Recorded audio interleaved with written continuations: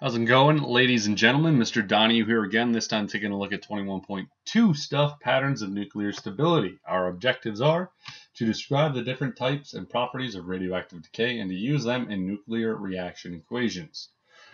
we also want to be able to describe the factors that influence nuclear stability and analyze nuclei to determine their stability and what mode of decay is likely for the unstable nuclei. All right, first thing is like, well, why are things radioactive in the first place? So, long story short, it's the nucleus is unstable. That's why things are radioactive. You have an unstable nucleus.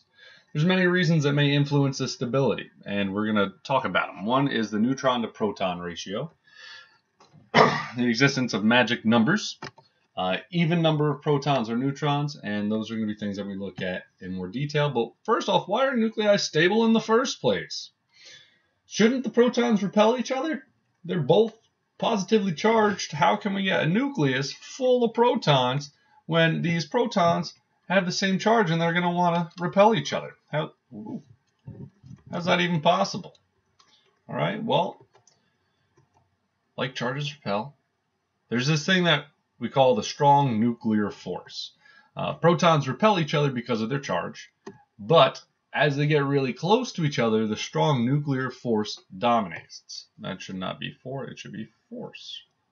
Dominates. It's kind of like a Velcro. So if I'm taking a look at these two protons at a distance, they want to repel each other because they have the same charge. They're both positively charged. But as we force them to get close together, now it's kind of like there was Velcro and now they're stuck together. Even though they repel each other, the Velcro is stronger than that repulsion. That Velcro is the strong nuclear force. So if a nucleus gets too big, though, the nucleons won't be held close enough together for the strong nuclear force to dominate, and it can become unstable. So if the nuclei get too big, that Velcro is not going to be strong enough to hold all of them together. Neutrons also are going to help with stability, right? If we just had a bunch of protons, that's not going to be as stable as if we threw in some neutrons there. All right, so now we got this neutron to proton ratio. We call this the belt of stability. And if you take a look, the stable is the very, very dark red, and if you take a look, you can kind of see in the middle right there, we have a belt of stability. That's where the things are stable. For smaller nuclei, we have about a 1 to 1 ratio for neutrons to protons. So if we see over here on the y-axis, we got neutrons, and over on the x-axis, we got charge, which is from the protons, right?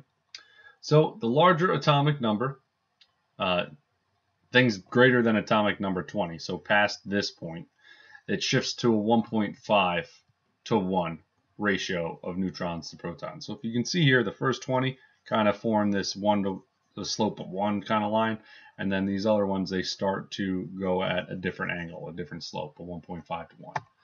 So if you're above the belt in this area, if you're up there, that means that you have too many neutrons. So what kind of decay will convert a neutron to a proton?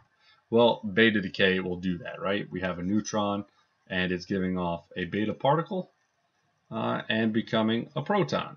So this is one way to go, hey, oh, did I do that? Yeah. One way to go, hey, if I got too many neutrons, why don't I turn one of them into a proton? That way I have more protons and less neutrons and I can become more stable. Well, what about if you're below the belt in this area over here?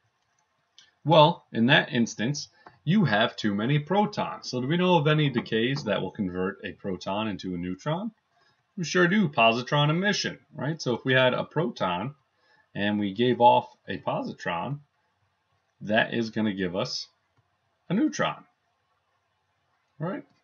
Or if we did electron capture, where an electron falls in and essentially converts a proton into a neutron. So above the belt, we get beta decay. Below the belt, we get positron emission or electron capture. Both of those, the positron emission and electron capture, will convert a proton into a neutron.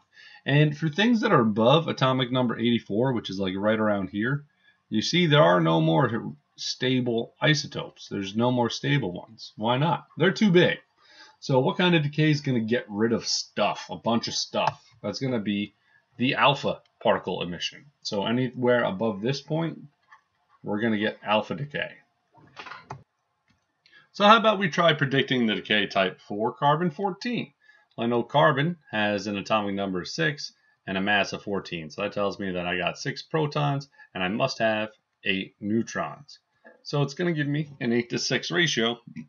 But for the smaller elements below 20, it's better and more stable to have a 1 to 1 ratio. So I got too many neutrons. So what kind of decay is going to change a neutron into a proton? Well, let me think about it, right? It's going to have to be a beta particle. So we're going to have beta particle emission. So what's going to happen is carbon 14 is going to give off a beta particle. And then what do we end up with? Well, we end up with nitrogen with a mass of 14. And in that scenario, I got seven protons and I got seven neutrons, and that's a one to one ratio. Perfect. All right, let's try this again. What about for uranium-235? Well, hey, I know uranium has an atomic number of 92, which is greater than 84, which means that nucleus is way too big. I'm going to have to give off an alpha particle. So if I were to write out that equation, I'm not gonna because I don't know what it decays into. I think it's like thorium or something, but I don't really know off the top of my head. We just know it's going to be alpha. And what about iodine 121? Well, I know iodine has an atomic number of 53. So I got iodine, atomic number of 53, and a mass of 121, which tells me that I have 68 neutrons and I have 53 protons. Now, for the atomic numbers greater than 20, like iodine is, it's better to have a 1.5 to 1 neutron to proton ratio uh, because it's more stable then. So I go, all right, well, if I had this many protons, what would 1.5 neutrons be? That would be just about 80 neutrons. So it's telling me I don't have enough neutrons. I need more neutrons. So what kind of radioactive decay do I know of converts a proton into a neutron? Well, what's missing? Must be a positron. So I know that this is going to be positron emission, right? Or another notation for that would be this. So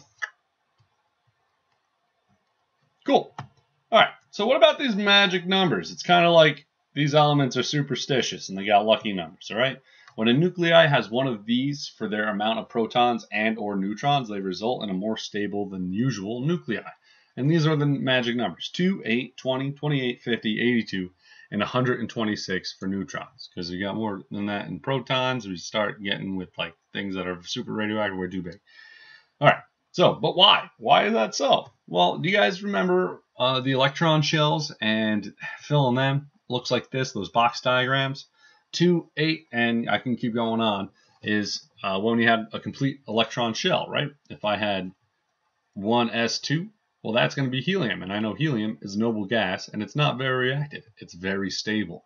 Or if I had a total of eight electrons uh, in my valence shell, so if I were to fill this up again, hey, isn't that going to be another noble gas? It sure is, and if I recall correctly, it's going to be neon. I sure hope I'm right. Which again is a noble gas, and it's more stable than other elements. It's not very reactive. So it's like that, but it's for nucleons, like protons and neutrons, okay? So there are shells for the nucleus as well, and these numbers are like the complete octet for the nucleus instead of the electrons. So example, lead-203. Lead has 82 protons and it's stable.